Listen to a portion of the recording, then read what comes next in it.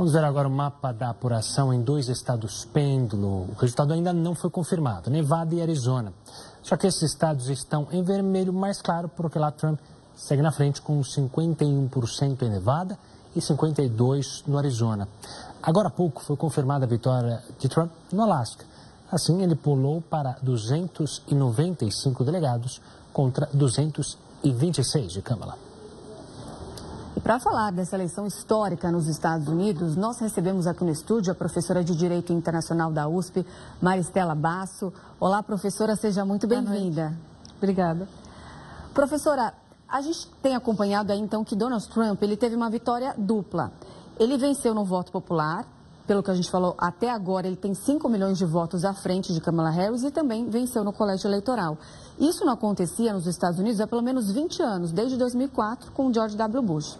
A gente sabe que na prática isso não faz diferença para um candidato vencer. Mas ele ter é, conquistado essas duas vitórias juntas tem um peso simbólico?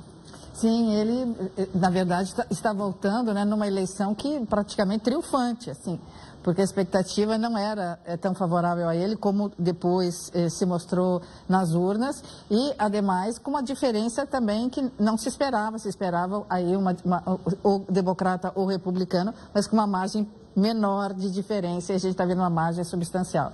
E no que diz respeito à tomada dos é, delegados, porque é, ainda que a população tenha indicado quem é o candidato que prefere para a presidência dos Estados Unidos, o colégio precisa referendar. Mas com esse número de delegados que ele já tem, muito dificilmente nós vamos ver aí um colégio é, que vá dar um resultado, apresentar um resultado diferente do que esse que as urnas nos deram.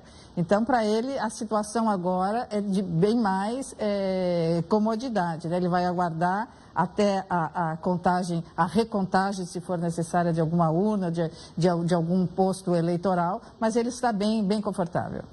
Maristela, na sua análise, essa vitória triunfal de Trump e arrasadora está mais ligado a uma campanha de Trump muito bem feita ou a erros na campanha democrata? Ou seria uma junção dos dois, como queira? É como o avião nunca cai por uma única, por uma única razão, né? um somatório. É, para os democratas, sai, deve sair dessa eleição uma grande lição porque eles demoraram muito para apresentar um candidato. Era Biden, mas se sabia que Biden não tinha as condições para seguir numa campanha para reeleição. Ele foi segurando os democratas o máximo que pôde, os democratas muito empáticos com ele, porque o, o Biden é uma figura muito querida dentro do partido. Então, eles, eh, eh, eh, esses grandes caciques né, do, do, do partido não queriam dizer para ele não vai, vamos colocar outro candidato pelo, pelo carinho, pela devoção que tem ao presidente Biden. Então, o, os democratas erraram desde o início desse ano, né, mantendo uma possível candidatura à reeleição do, do Biden, quando ele não tinha as condições, e isso já era sabido. E quando então decide, já está tardiamente, né, e ele decide pela vice, e quando havia outro ou outros candidatos melhores do que Kamala Harris, porque Kamala Harris não foi uma boa vice-presidente.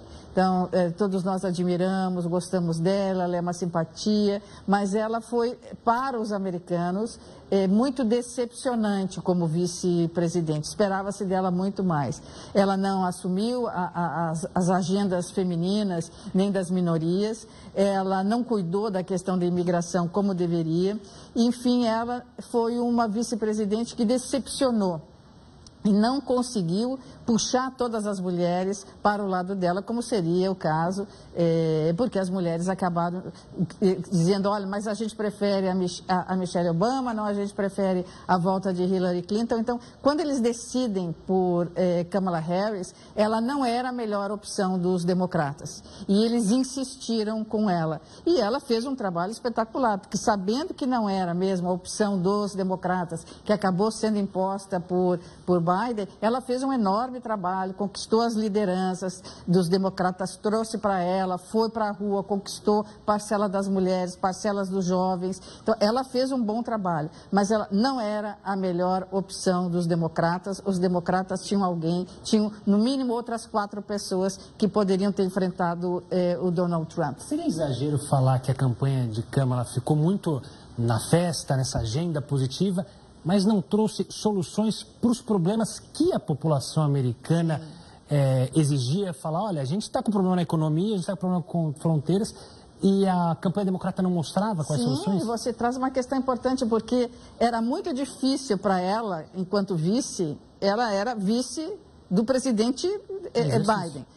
Ela trabalhou nesse governo e esse governo estava com um alto índice de reprovação. Foi um ato muito corajoso dos democratas insistirem com, a, com, a, com ela, porque ela seria uma continuidade de um governo que não estava bem aprovado, de um governo é, com alto índice de rejeição, com um governo cuja economia, ainda que estivesse estabilizada, não era essa a percepção do cidadão. O cidadão americano tinha uma percepção ruim da economia. É, a, a, inflação, sim, foi combatida no governo é, é, é Biden-Harris, mas num patamar muito alto a moradia, comprar uma casa hoje, que para o americano é muito importante, era praticamente é praticamente impossível. O aluguel toma mais de 30% do, do que eles recebem, a alimentação está muito cara, então era muito difícil que os democratas emplacassem alguém deste governo, os incumbentes, como a gente diz.